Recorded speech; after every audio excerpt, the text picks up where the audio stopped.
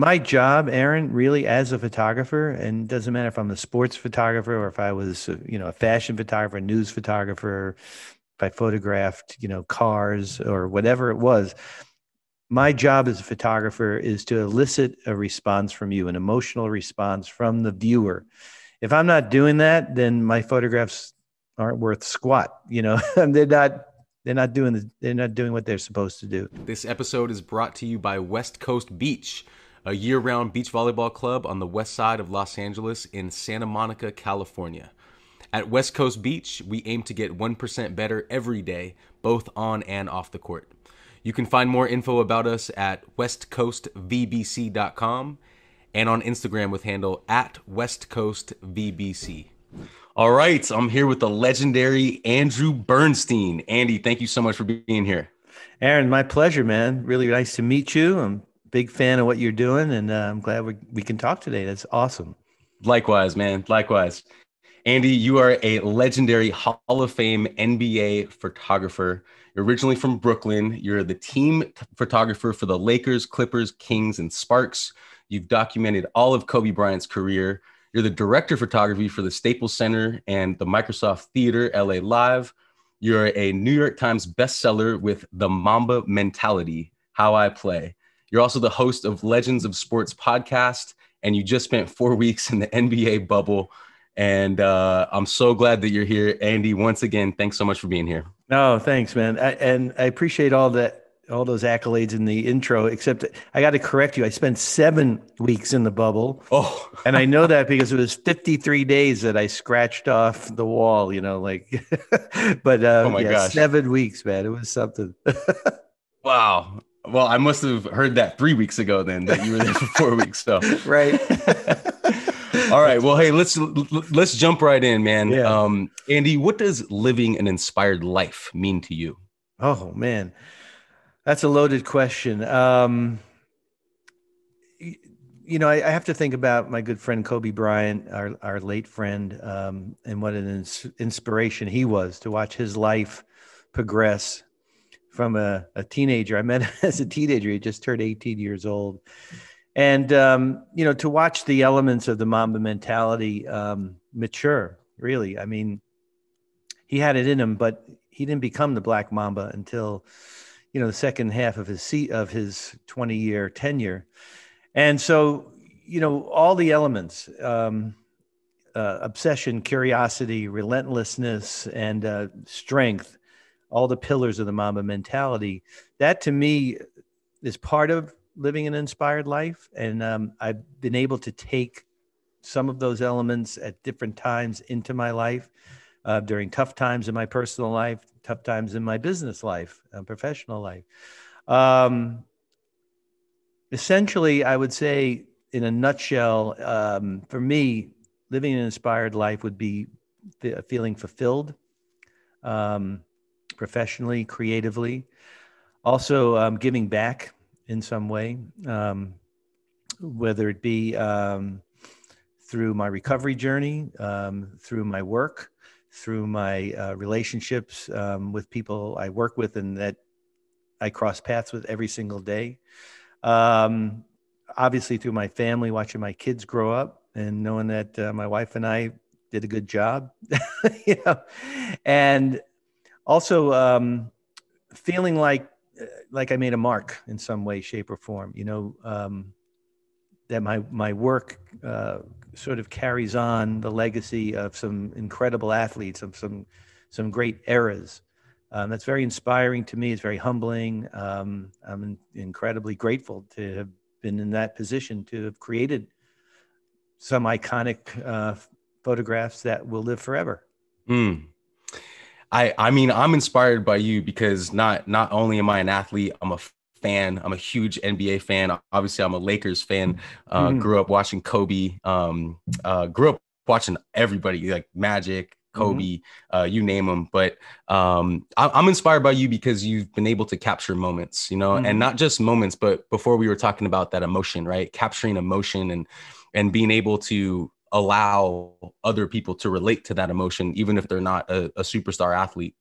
you know and and that's really inspiring to me and and i i guess i i want to know how do you stay inspired outside of the game not just the game of basketball but the game of photography Ooh, um, well, as a, as a dad, um, I'm continually inspired because um, it it's the greatest job any man could ever have is to be a father. Mm. It's also very demanding and it's very challenging, and you are um, responsible. You know, for, for this human being from birth until you know when they leave your house. And by the way they never really leave your house. You know they might physically leave but they don't leave. And it's a wonderful thing. And i have kids. I have three kids in la i have one in philadelphia. And uh, i watch them from afar. I watch them up close. Uh, my oldest is going to be 26 my youngest is 12 and so that's that's incredibly inspiring to me to to know that my job is to lead a life of integrity and um, to set an example and to be able to uh, lead by example um, because I got that from my parents and primarily from my dad. My mom was wonderful and nurturing and terrific, but my dad's work ethic and what he instilled in me in just to love sports, for example, but also to love what I do um, was very important. And so I'm trying to do that as a dad. And uh, when I see, you know, my kids accomplish something, or I just see their smiley face in the morning, you know, that's inspiring to me. It's a wonderful thing. Absolutely. That's that's great. Um, let's talk a little bit about the bubble since you just mm-hmm. spent seven weeks there. yeah. Not four. Um, and, I wish it was talk, four, but you're right. all the story. what, what a what a weird, crazy year, right? Um, mm-hmm. for specifically for the NBA and, and the the playoffs and the finals. So could you just talk a little bit about that experience and and anything that came up that was inspiring to you? Mm. Well, here's the deal March 11th, uh, I go to Staples Center to do a game. Um, all of my clients were in full blast. You know, I, am like you said, I'm the director of photography for AEG. So Staples Center had all their events going on. Microsoft Theater had a full slate of events.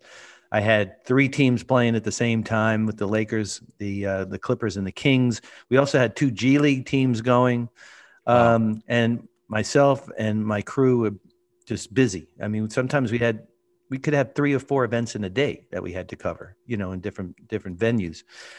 So I go to the game, come back from the game, everything shuts down. You know, uh, Rudy Gobert tests positive. The game in uh, Oklahoma City is canceled. Next thing we know, in the morning, the entire NBA shuts down for good, and of course, you know, everything else followed suit after that. So I didn't work. I didn't physically work until I went to the bubble on this was March 11th. I went to the bubble on August 20th. So that's, you know, it's five and a half months of not working, not earning. Um, thank God for the uh, PPP program, which, you know, kept the door open and kept a couple of my employees and myself uh, um, paid for a little bit, but it was getting to be crunch time, Aaron. You know, it's like I had to start working. Thank God my right. wife was working too, but she's working from home. She's an attorney. Um, so I was very grateful um, that the NBA figured out a way to to to make it happen, um, and they did. They the bubble was um, incredibly well thought out. It was well executed. Um, I felt 100% safe once I got there. You know, and keep in mind we're in Central Florida where COVID everywhere around us is absolutely exploding, right? Still is, but even especially when we were there. And um, I was offered uh, essentially, they broke the, my Boston NBA photos broke up the bubble into like three segments. Um, you know, sort of the the prep in the beginning, and then the middle, sort of when playoffs started, and the end, which would be essentially conference finals and finals. And um, you know, we talked about it. I, I, preferred to go to the end, and I think he he preferred me to be there at the end. So I got to watch the beginning of the bubble on TV, which was interesting. And then once I got down there, and of course I was talking to my colleagues that were down there and stuff, so I was kind of prepared. My biggest trepidation, honestly, Aaron, was getting on a plane. I hadn't been on a plane since the pandemic started, right. and uh, my wife wanted me to get a hazmat suit um, hmm. Literally or, ordered me a hazmat suit on on wow. Amazon, which I thank God I was able to intercept. But but I was full PPP'd out, you know, and or PPPE'd out or whatever you want to call it. And um, anyway, I got down there. I I was in. If you're talking about being inspired, I was inspired by the effort that everyone put forth. Um, the the the players uh, and coaches first and foremost, because honestly, I didn't see any um, downturn at all in the the, the quality of play, um, how serious they were. Uh, you know, and, and you know, keep in mind these guys are away from their families, they're away from their wives and girlfriends, and not used to that. And right. um, but they they had a job to do, and they didn't uh, you know they didn't hold back. It was beautiful to see, and it was different for me. I wasn't on the court like I normally am. I had to adjust to that. I had to adapt to a new, you know, new shooting situation. I, I couldn't do my behind the scenes coverage, which is near and dear to my heart, which is what I love. They kept us, you know, socially distant from the players at all times. Even in the championship locker room, you know, shooting the Lakers, you know, flying, throwing champagne all over the place. We had to be a little bit back from them, not right on top like we used to be. So, um, the biggest inspiration was coming home was uh, basically you know i don't want to say surviving it because i don't want it to sound like it was you know survival um, exercise but it was psychologically challenging. It was difficult to know that that i was in a in in a situation where i, I couldn't leave you know? It was confining.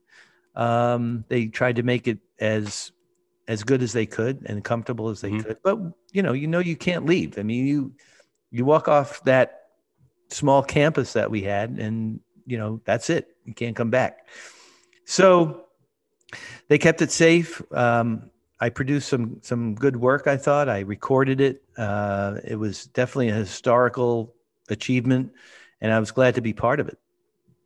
Yeah, very cool. Well, let's talk a little bit specifically about the Lakers. Mm-hmm. Um, not only because um, they won, but because I'm a huge fan. And uh, I wanted to know from your eye, since you have such a great eye, um, what specifics can you talk about from LeBron?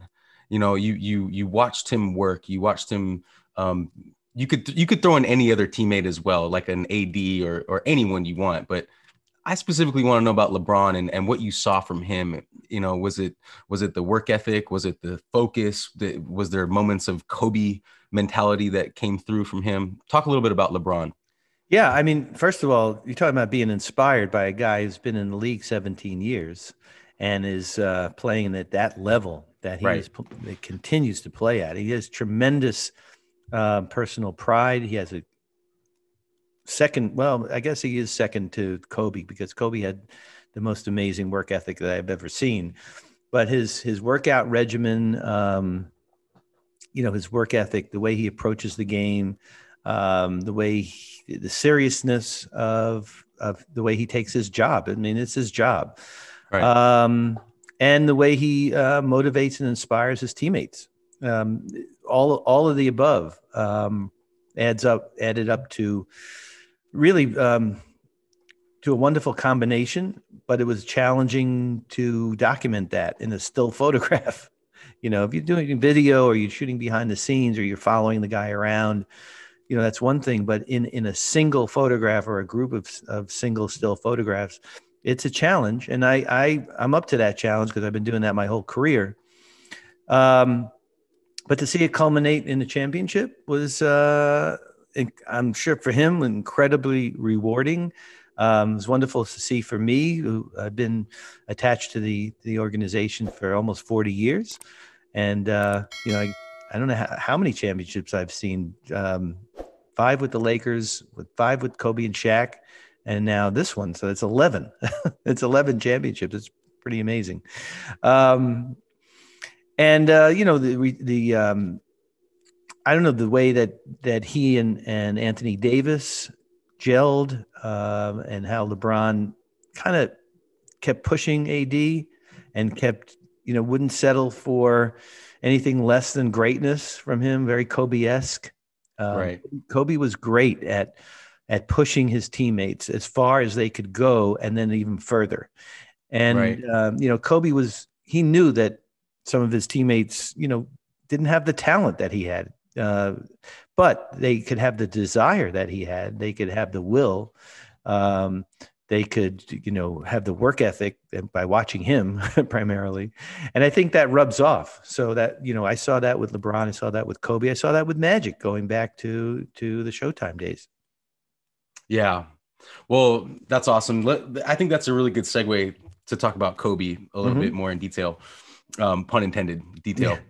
um, you know, you, you mentioned that you you take incredible still photos, and one of uh, one of the interviews that I heard with with um, with you was was talking about oh it was actually it was the one with Kobe where mm-hmm. he actually said that he studied some of the photos that you took to help him with his game, mm-hmm. right? Mm-hmm. I mean, to me, that's awesome. And and I think you were even a little taken back by that. You're like, wait, you were studying the photos, not video. And yeah. he was saying that, like, yeah, I actually get a lot more information sometimes from the photos. Mm-hmm. Um, talk a little bit about Kobe, and let's get into that and get into your, your relationship with him. I know that he's kind of allowed you in his inner circle for all the, the his 20 year career. Talk about Kobe. Well, it's, it's interesting, Aaron, because when Kobe um, came into the league in '96, I had already been working in the league for 13 years at that point, and uh, I had, I had kind of made my mark with um, the Laker organization, the NBA, but primarily with the Lakers at that point, the Clippers as well. Um, and there was a, a, lot of trust that had that had been accumulated over over that. You know, I had banked a lot of trust, and the trust comes from integrity, professional integrity, personal integrity, um, also being discreet and knowing when to get in, when to get out, um, and never making it really about you, about me, the photographer. It's about them. So when I met Kobe, he was familiar with me, he's familiar with my work.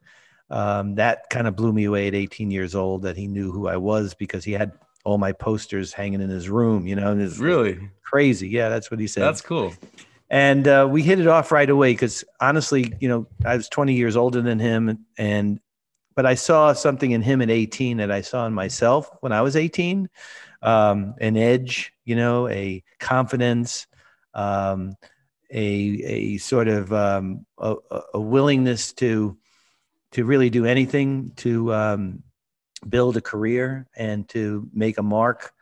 And you know he had so much talent um, I wish I had a, a, you know an eighth of the talent as a photographer as he had as a basketball player at 18 years mm. old. But um, you know, never taking no for an answer. Uh, whatever naysayers he might have had in his career, you know, coming out of high school, people doubting him, he used that as fuel. You know, I had the same situation when I was in school where I was I was really um, discouraged from being a sports photographer at the school that I went to. It was a commercial art school, and uh, discouraged. I was discouraged, yeah, because I I transferred. It was Art Center College of Design, and I transferred there to um, really learn how to be a professional photographer, how to um, learn the science of photography, uh, everything you know, on the creative side as well, and how to run a business and all that stuff. But they were very commercial and advertising oriented, and and photojournalism, especially sports photography, was not something that they promoted there.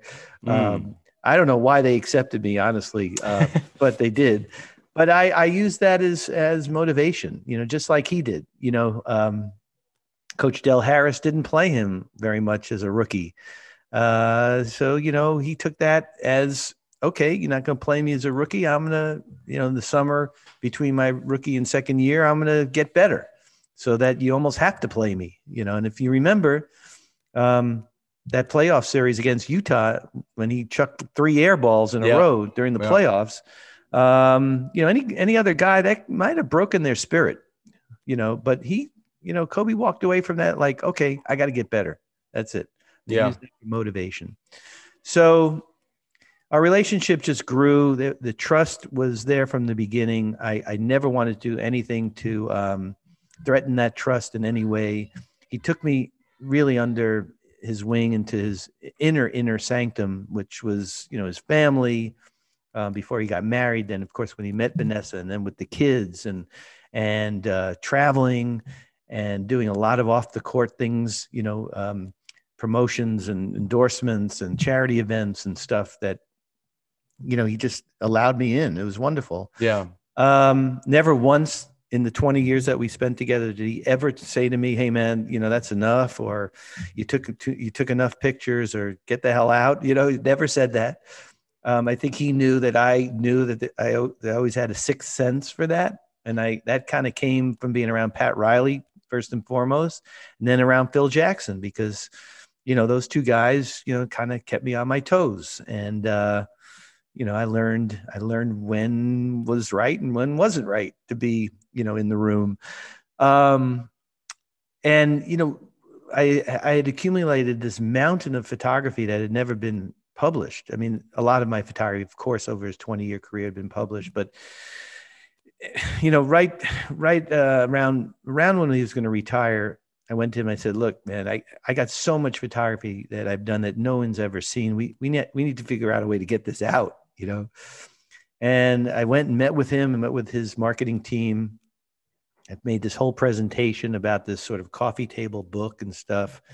And he didn't want any part of that. He said we're going to do a book together but it's not going to be this book. I want to do a book that really lets people into what makes me tick you know as as the black mamba but as a basketball player as a human being as as a teacher um, as somebody who's going to inspire others you know so you could be a coach you could be a basketball player in high school you could be a dad or a mom. Um, anybody is going to learn something from this book. And and it's going to be illustrated it's going to be told through my words he said and illustrated through my photos you know. So that was like an incredible gesture. And we sat down and we um, sketched it out. We brought in a, a great publisher and design team and the Mamba mentality book was was a true testament to his to his legacy. I mean now it lives on as the thread uh, and the connection between millions and millions of fans who adore him Yeah, well, congratulations for that. I know it was a, a New York Times bestseller, and it's right behind you. You could point to it. oh yeah one. how do i do that backwards It's the other way. That way. There it is. That's the cover. there it is. Um, yeah, no, that that's great. You know, and and to have him immortalized like that in a book with your Mm-hmm. photos is so cool, and um, I can't wait to get mine. It's coming. Um, but you know, let, let's stay on Kobe for a little bit more because, uh, Mhm. like I told you before, I, I was a huge fan of his. I still am. Um, I still learn from him, even though he's, um, you know, he's passed. R.I.P. Mhm. Kobe and uh, and Gigi. But um, he he mentioned something in your uh, your podcast episode with him, which I will link uh, to this one thank you because it was a great episode. Yeah. Um, he said something about the revolving door of priorities. yeah there you go that's yeah I, I wrote that down. I was wondering if you could touch on that because I think I know what he means, but he he I think he was talking about sport and profession, like Yes. any any right. Well, Yeah. yeah. that that's a great question. I'm glad you brought that up, Aaron, because when he and I were talking, you know, he he had he had young kids, and he he was so happy to be a dad, um, a husband, um, have that part of his life. You know, he had been re- he was retired when we did the podcast, and he had um, seamlessly, I mean, to everybody's surprise, just seamlessly pivoted from this, you know tunnel visioned, uh, intense Mamba personality, you know, basketball player to being a dad and a businessman and a creator. Um, but we talked about, and, you know, I, I was a dad way before he became a dad, but we talked about how once I became a, a dad, that, you know, when I'm with my kids and when they were young and, and trying to kind of juggle everything, yes, life has a revolving door of priorities. You know, sometimes my job takes priority. It has to. And in the in, in in the business that we're in, professional sports, a your spouse has to get that, right? Or you're doomed in your relationship. And Mm. B, your kids have to get it also. And they have to understand that it's a very demanding life. You know, I I can't tell you how many dinners I missed at home. Uh, I missed birthdays. You know, I was a divorced dad. I was a single dad for seven years, raising my kids. You know, with uh, custody time and all this stuff going on around that. Um, and then when I met my wife, that now, uh, you know, she embraced my kids, and she had a daughter, and we had one together, and uh, we raised these three teenagers and and an infant together. You know, with this crazy job that I have, and if if I didn't have a spouse that really understood that and accepted it, um, it would have been it would have been a disaster, quite frankly. So we talk about the revolving door of priorities. That sometimes the family takes priority and the family should take priority most of the time but sometimes it just can't. And i think in everybody's life it's like that. If you're a doctor you know in any profession my wife's a lawyer. Sometimes my wife has to pull all nighters because she's on a case. Cases you know has a deadline. Um, and i have to understand that. And you know i could come home from a game and you know she's doing her thing or she's still in the office you know and i'm in charge you know, all night or into the morning or whatever. So, you know, it's it's it's a real team effort. But um, if you ever, you know, if if you put something first all the time, whatever's not first is going to suffer. mm-hmm. So, right. You got to figure out in life how to, at least I did, how to, how to have a revolving door of priorities. And can you expand on that for a second? Because I think that's so important. Um, you know, f- for me in this project, this mm-hmm. podcast and my forthcoming book it's all about tools right mm-hmm. tools on on how to find that inspired living mm-hmm. concept or, or or that curiosity that we were talking about that kobe yeah. had right mm-hmm. Mm-hmm. um, but specifically with the revolving door of priorities because i think that's so key right now in a world of social media in a world of attention grabbing you could put your attention anywhere you know mm-hmm. what are some ways that you prioritize mm. well um, I mean, it's kind of a loaded question and a, and much bigger answer, but um, my life wasn't going in the direction I wanted it to go. And uh, I had to really sit down with myself and figure out why things weren't going the way they should and what I had to do. And it was kind of a circle the wagons moment. um, and I realized I needed to start on a recovery journey. I had some issues I had to deal with that I had been uh, pushing under the rug that were affecting everything, affecting my professional life, my personal life.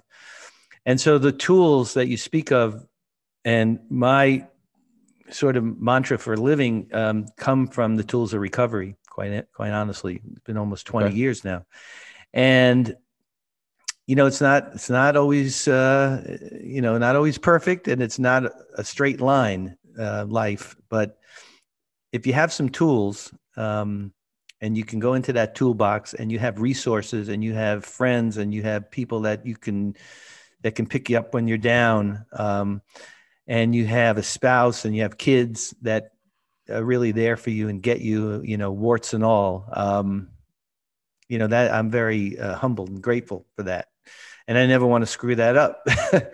so um, i found that as as that journey continued and I got deeper and deeper into it that things got clearer and that my my path, my life's path got clearer. Um, that things got a little bit easier. That there was I wasn't all jammed up all the time, and uh, and you know, quite frankly, I mean, I just spent seven weeks in this really difficult situation, which I I couldn't have done if um, I wasn't I didn't have the tools to do that. Um, it was very demanding and uh, I'm just thankful that I, I do have those tools and I, I do have uh, a path that I can continue on. It's also a spirit, a spiritual path. Um, I've learned how to sort of center myself when I'm getting all just out of whack, you know, and that could be honestly anytime in the car, before a game starts, during a game, you know, things start going wrong technically or what have you. Um, I, I've learned how to just kind of go within and just chill, take a breath. yeah. And yeah. Uh, that's been very helpful. Um, and, uh, you know, this pandemic has been so hard on all of us. Um, the, the, the psychological toll it's taken on so many of us. I mean, thank God, you know, I'm knocking on wood everywhere that my family and I stayed healthy. Um, but you know mix that in with the political climate going on with everything going on uh, with social justice and man, it's just how much more can life pile on, really? You're right. Yeah. I mean, I felt like after the election, quite frankly, that that we could all like exhale a little bit, right? Um, no matter which side of the election you were on, quite frankly, I don't know, maybe not if you're on the other side, but um, the side I was on is like, okay, you know, now we can sort of, and that took what, like five days to get that resolved. But, um, you know, I think we're going to get a handle on COVID. I think sports are going to come back at some point in some way close to the way we they, they used to be and we're used to having. Might take a year, two years, who knows? Right. Um, the economy is going to come back. You know, um, we're not going to bring back the almost 300,000 people who are dead, which, uh, you know, is a whole other story. Um, right. That is just an unbelievable travesty of our government. But, um, you know, I, I don't know where I'm going with this, but fact being is that um, I'm feeling very optimistic for the future. Good. And I wasn't feeling very optimistic, honestly, back in oh maybe April, May, June. It's when it started to drag. And then once the NBA announced, hey, you know what, we're gonna do this, we're gonna play. Uh, I got I got kind of a second wind, you know. Yeah, and when, when I went down there, I felt like I was really accomplishing something. Well, that's great. I, I, it's a good segue to emotions. You know, a big part of this project and really life in general is emotional management. Mm-hmm. Um, something I really admire about your profession, like I said earlier, is you capture these moments of emotion, right? Mm-hmm. Whether it be a championship, um, the the there's a couple iconic photos that I'd like to touch on. Um, like the one that comes to mind is the KD and Steph Curry embracing. Oh, I got uh, that right behind me. Oh, really? It's right there. Okay. Yeah. oh, right there. Yeah. Yeah. Right there. Yeah. We with the wide, uh, the yes. wide lens. Yeah. Mm-hmm. Yeah. Uh-huh. So like those moments are so emotional, but I wanted to talk about, and you could tie it into um to the bubble and your recent experience, but mm-hmm. the emotional management of this story of capturing emotions you can you, you can feel it even with the coaching staff i'm sure that mm-hmm. you've, you've just seen so much emotional shifting up and down mm-hmm. i would love for you to talk about that as well as from your end on a personal end being a photographer how do you manage your own emotions during all that stuff? Yeah i mean my job aaron really as a photographer and doesn't matter if i'm a sports photographer or if i was uh, you know a fashion photographer news photographer if i photographed you know cars or whatever it was my job as a photographer is to elicit a response from you an emotional response from the viewer. If i'm not doing that then my photographs aren't worth squat. You know, they're not they're not doing the, they're not doing what they're supposed to do. Now, mix in the fact that it, you know I get to shoot these amazing events and these incredible athletes, you know, NBA, NHL, MLB, uh, football, whatever it could be. Um, you know, sports has an inherent emotion to it, um, but to be able to record it and to have you, the viewer, whoever's viewing my photos, feel something. You know, you're going to feel elated. You're going to feel sad. If it's, you know, if it's a sad moment, you're going to feel like, wow, I saw that on TV and what, you know, this is the photo from that. Or I was at that game. Or my dad took me to that game or showed me that picture when I was a kid, you know, all that stuff. So that's mm-hmm. really important. Um, the part B to your question is, is, com- is completely impo- is like vital because I, I can't be a fan in the moment, right? Mm. I have to detach myself 100% from what's going on and just be completely in the space of recording what's in front of me because that's my job. If I'm if I take my eye out of the camera and I'm watching, then I might as well be home on my couch. Right. watching it right. on TV because my job is to record it for and that's why they put me in that position why i've earned that position over these number of years. And you know yes do i go back to my hotel room after an nba finals game and watch it over and over and over again on sports center? Yeah of course i do. I read about it in the paper. I'm looking at uh, my other colleagues photos. I'm looking you know i'm talking to journalists. I'm i'm a fan as much as you and everybody else but i'm not a fan in the moment. That's the biggest thing yeah, you're kind of a player actually. You're a player within your own game of photographer, mm-hmm. photography. Yeah. Right? yeah. Yeah. I mean, I learned that from so many athletes. I mean, mostly from Magic who who always seemed just to be floating above everything going on. You know, he just he just glided through the most uh, intense um, heart pounding moments I remember from Showtime. You know, being in Boston Garden, for example, you have no idea how intense that was. I remember being in Boston Garden 84, 85 during the finals, and it got so loud, thunderously hmm. loud in there that the parquet floor, literally the parquet floor was moving, was like shifting. The panels and the floor were shifting. Uh, and it was, you know, 95 degrees in there. And there's Magic, cool as a cucumber, man, just leading the team down to a championship in 85. It was beautiful. Um, same thing with Kobe. You know, Shaq was a lot more emotional, but um, but knew when to turn it on, when to turn it off.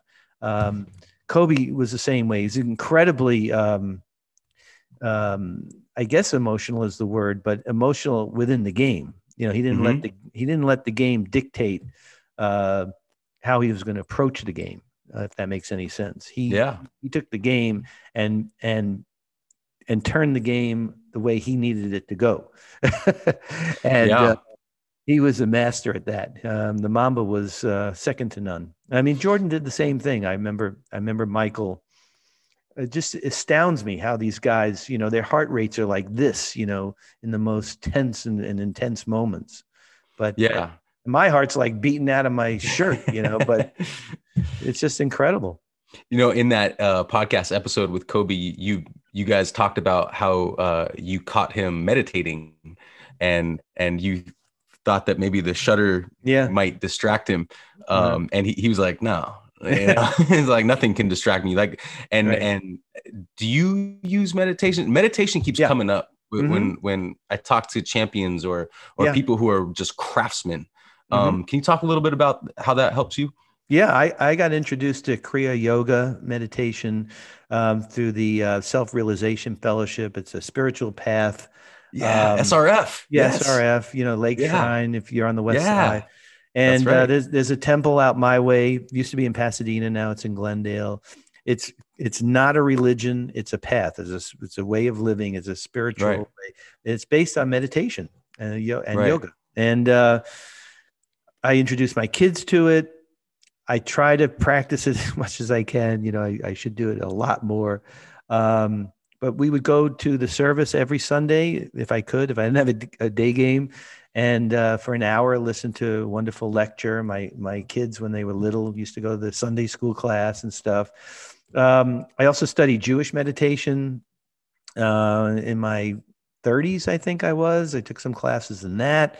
Cool. and I recently, um, uh, on my podcast, when the pandemic hit, I reached out to a woman named Lynn Goldberg who has a an app called Breathe, B R E E T H E, right? Yeah. Um, mm-hmm. I started I started using the app and I found like, wow, this is really helping me. Especially I have insomnia, so I would I would hit up the app, you know, two o'clock in the morning, and man i'd be out like that you know? So i reached out to lynn and she she was starting to do some amazing work especially with frontline workers um, where she was offering the app for free to first responders and nurses and people who just really honestly needed it and maybe needed just five minutes. And uh, so i was able to help her sort of promote that. But she came on the podcast and talked about working with with you know a plus personality athletes and how she taught them how to relax, how to meditate, how to be in the moment, how to center themselves. And you know, going back to what you said, I, I specifically remember. I can't tell you how many times I've I've seen. I used to see Kobe meditate during the national anthem, standing there, you know, on the court with the guys um, in the most incredibly intense moments, NBA Finals moment um, and and he is he is somewhere else. I mean, he's certainly wow. he's certainly physically there, but his mind is able to just sort of center. And I know Phil Jackson, you know, a huge proponent of meditation. Um, right. So I learned a lot from the guys that, you know, you know, the athletes I've I've been around. Um, very inspiring, very uh, necessary because otherwise it'd be like a nervous wreck all the time, you know. And right. It's no way to live and that's no way to work. right, right. Well, um, I wanted to uh, I wanted to just touch on some of your uh, iconic photos that you captured, and I'm just gonna list a few. And, and rather than ask you your favorite one, um, I, would like to ask you which one evoked the most in, inspirational kind of emotion. Oh, okay. Um, um, MJ hugging the trophy, Magic and Bird guarding each other from a free throw, uh, Kobe and Phil after winning, um, Magic and MJ, uh, LeBron's dunk, hmm. uh, the uh, the walking on air dunk, um, Kobe's windmill dunk, the 2K 2K21 cover, which is coming up. I'd love mm. to hear about mm. that one. Yeah, uh, I mentioned KD and Steph Curry. Um, any of those kind of jump at you?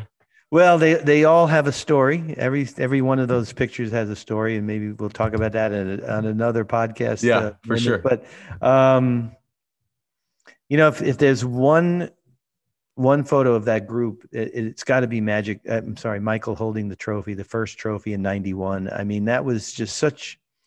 In the at the time, it was a historic moment. It was you know Michael Jordan's first championship. Took him seven years to get to that mountaintop we were all part of that journey you know all of us who were in the room in in the locker room when uh, that occurred um, and to have to have that raw emotion come out and uh, from him and then his dad so beautifully next to him uh, trying to just not even console him but just to be there for him was beautiful and then that photo took on a whole life of its own. Obviously, um, you know, Michael won five more right. championships after that.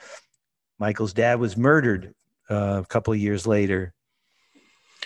After his dad's murder, I got a call from Michael's office uh, asking for a, a, a, personal print, you know, for Michael because he loved that picture.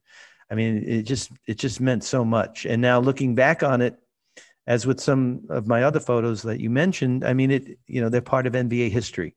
So, right. you know, Magic and Bird, David Stern said that that that photo helped define the era. You know, for your boss to say that to you and publicly, um, pretty cool. yeah, it's pretty cool. And it yeah. also, you know, you also put the gauntlet down. Like, okay, you, you got that. What are you gonna? What's coming next? right. right. and and those are the kind of challenges I live for. So cool, man. Um, I want to ask you so many questions, but I want to respect your time. One one question that comes to mind is timing, and mm-hmm. you remind me of an athlete because nowadays with the remote uh, with remote cameras, you mm-hmm. know, um, especially during COVID and stuff, you have to have really good timing on that remote, mm-hmm. right? Yeah. And athletes have to have that timing. Uh, coaches have to have that timing. Really successful, inspiring people have good or great timing. Mm-hmm. Could you talk a little bit about timing specifically for one? I think one of the dunks from that you got from LeBron, where he had like a scissor kick and he yeah. just yeah. yeah. you know, you know which one I'm talking well, that's, about. That's the walking on air one you're talking about. That's okay. Yeah, that one. That, that was so. In, um, yeah. Mm-hmm. Yeah. yeah that, so yeah, go ahead. Yeah. Well, you know, timing is all about preparation. Quite frankly, um, especially when it comes to setting up these remote cameras, which are cameras that are stationary, put in strategic spots around the court. You know. Mm-hmm. Um, so it's all about preparation. It's hours and hours of setup time um, it's experience. Um, it's also patience. You know, what I do requires a tremendous amount of patience because the way I shoot, Aaron, and it, it, it's a long explanation, but basically, I can only shoot one picture every four seconds. I can't shoot a motor drive sequence of 10 images in a second and pick one out of there. You know, I, I can only shoot one picture, have to count in my head four times, you know, four seconds, and I can shoot another picture because these huge strobes that I use, these huge flashes that that go up in the catwalks of arenas, they put out so much power that it takes them four seconds to recycle back up that you can shoot again. Um, and if you shoot in between during the recycle period, you'll either get a blank frame you know, because you won't have any light, or you'll blow the thing up. so, and that both of those things have happened. Um, wow and you can't reset them and you know, might as well go home at that point. Uh, so that takes tremendous discipline, um, especially when it comes to, you know, the young Kobe who was a dunk machine. I mean, the kid would dunk like four or five times a game. You know, MJ was the same way. You know, picture, you know, being on the baseline with Magic Johnson coming like a freight train down sent down the middle of the court He's got Worthy on one side. He's got Coop on the other side. He's doing like 19 moves. You know, he's looking one way, passing the. I mean, when do you shoot that? you right, know, right, right. Where is the picture in there? Uh, and you get burned a lot, but then you learn. You learn. You just learn. You got to. You got to wait a millionth of a second. You know, that something is going to happen. You know, a guy like Shaq, uh, very predictable. You know, he's going to dunk. I mean, you know, he's Right, going to dunk, but but it's like when do you shoot that dunk? Because you don't get his arms in, in in his face. You don't get the ball in his face. You know, the net in his face. Or a player, a defender. Kareem, same way. Beautiful skyhook, but to get the skyhook at its apex at his most beautiful moment, you know, took tremendous amount of discipline and patience. To be honest with you, um, so you know that again, I t- keep talking about challenges, and to me, challenges are inspiring because Yeah. That keeps the juices flowing. That keeps the creative energy going. And um when I go to, a, it could be any game, any game. You name a game in any any city, anytime. Could be preseason. It could be a meaningless game, you know, somewhere in, in, in during the season. Conference final, a finals game doesn't matter what it is. Um, I approach every game the same way, and I learned that from from the greats. I learned that Yeah. from Magic every single game. Learned that from watching Kobe. These guys never mailed it in. They never, they never mailed in even you know one quarter of a game. I mean, Right. they came to play, and I, I, I was, I mean, I know this is the name of the podcast, but I was very inspired by that. You know, if Yeah. they can do that, I can do that. yeah well i think that's the whole key is finding that relatability right is is relating not everyone has the talent or even the desire to be a, a nba superstar or a hall of fame photographer but if we can Mhm. take these things these tools and, and find inspiration from people like yourself Yeah. from the kobe's then we can make them relatable to our lives you know hmm Yeah, for So- sure. I think we we all do that, and and and as fans, we we look at these larger than life figures, and why why do we you know honor them so much? Why do they mean so much to us? Because we feel something from Right. watching. We, we're attached to them emotionally. Um, you know, sports has a tremendous family legacy. Um, you know, how many times do you go to Staples Center and you'll see, you know, three generations of Laker fans, or you go to a Dodger game and you'll see uh, the Right. grand the grandpa's wearing like you know a Duke Snider jersey.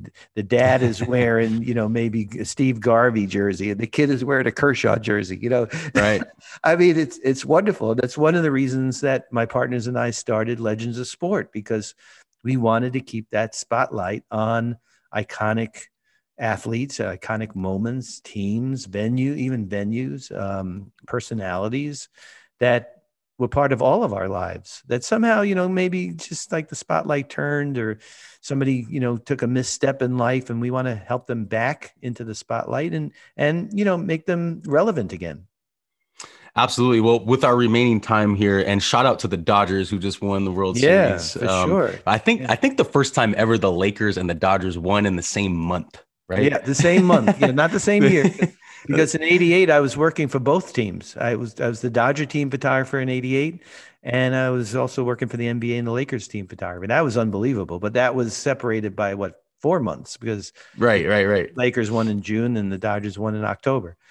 crazy crazy. Well yeah so i was saying um with our remaining few minutes here i wanted to actually talk about your podcast because i'm extremely inspired by your podcast legends of sport.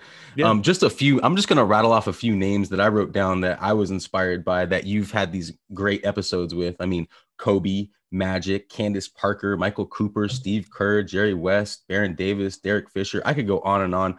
Uh, hope solo tony hawk bill walton. I mean, these uh, these people are icons themselves. Can you just touch on what you first of all, what was the inspiration behind starting it? I think you just kind of touched on that, but expand on that. And then second of all, like what you've been learning w- with this this journey of podcasting specifically with these legends. Yeah. Well, when we when we decided to launch the platform, we really looked really hard at this at the social media and the sports media landscape, and uh, we felt we felt like Legends of Sport really filled a niche. You know, we're not interested in in uh, if Mookie Betts went three for four last night, um, but I am interested in how maybe you know if he did something great in in a World Series game, how that related to maybe what somebody else did, you know, For 30 sure. years ago. Um, you know, if Kobe went for 40 plus points, you know, five times in a row, how did that relate to, you know, somebody else who did that feat? Or how can we relate this day in sports history, which we do every day on our blog? we talk about what happened today in sports history and then try to tie that into what's happening today. So we're kind of like, I don't know, a bridge between then and now, sort of. Yeah. Um, and then I, I started doing a show on the on the Lakers Spectrum Network, which was Time Warner at the time, which is a show that I pitched called Through the Lens, where I would sit with a Laker personality and talk about their career through my photos. Yeah. And um, you know, it could be anybody from Jeanie Buss to Phil Jackson, James Worthy, Gary Vitti, Robert Horry. And I found like honestly, Aaron, I found like I was really comfortable doing it you know it, and i had a great producer and and she just said any you know first of all we're taping this it's not live you screw up we'll do it again. But you know just imagine there's no camera here and you're like at a bar or you're in in, in a restaurant or your living room and you're talking to these guys they're all friends of yours you know? So it's super easy and i found that um that what was most inspiring and interesting to me was that everybody has a story. I mean it sounds right. it sounds trite and it sounds you know simple, but there's a story behind everybody's greatness. That's right. right? I mean, Jeanie yeah. Buss, Jeanie Buss talked about, you know, her dad. Uh, we spent the whole pod, the, the whole show talking about her dad um, and what, how he inspired her and, and, and, and gave her the, the business acumen that she has to run a major franchise, you know? Um, I mean, even Phil Jackson, I remember talking to him and I had talked to him before over dinners and stuff, but you know his journey and and you know it was amazing to me. And uh and who mentored him and everyone had a mentor and every, everyone had somebody in their life who had a pivotal moment inspired them pushed them motivated them changed their life in some way. Um, i remember talking to kirk gibson i'll just give you an example.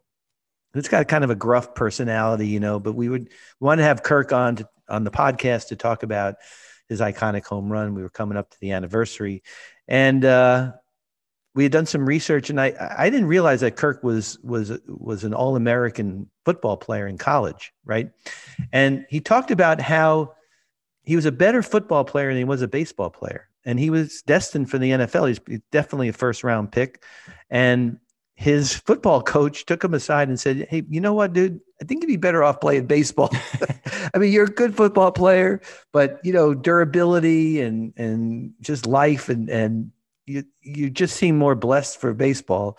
And he took that advice and you know, there he went. And uh, you know, Eric Dickerson talked about similar thing, talked about racism where he grew up in Texas and how he couldn't even play football as a, as a black kid in the town that he lived in. He had to go to another town to play. I mean, unbelievable stories, you know. And uh, you know, fast forward to season three, which we're in right now, and talking to Jerry West. I mean, the logo himself about his mental health journey and how forthcoming he was. And man, it just um, sometimes I just sit back and I just listen and I'm like, wow, I cannot believe I'm talking to this person. Yeah. and but the I think the podcasts come out very honest, and I think um, the conversations um, are always great. And uh, I'm so thankful to everybody, the, the the guests that I know, the guests I don't know, but I get to know them on my podcast, and we become friends. And I'm working now with with some guests that I didn't even know before I started the podcast. Yeah. So we partnered with the LA Times um, in July for our third season. So now we're released through the LA Times platform. Um, we started off with a 16 week block of restarting the clock, which was uh, basically um, an episode each week talking about the NBA and WNBA bubbles. So I had guests that would would speak to that, but also in, in a broader sense. So I would have Derek Fisher on talk, to talk about being with the Sparks and coaching them in the WNBA bubble. But of course, we would talk about his career, and of course, we would talk about Kobe. And right almost every guest that I have, we talk about Kobe because yeah. everybody has a Kobe story, whether they knew him, played with him, or were just inspired by him.